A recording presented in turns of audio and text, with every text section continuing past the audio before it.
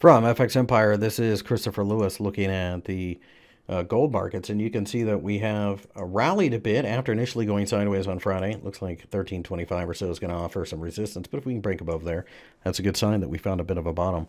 The market has an overall consolidation area between uh, 1300 on the bottom and uh, yeah, 1360 or so on the top.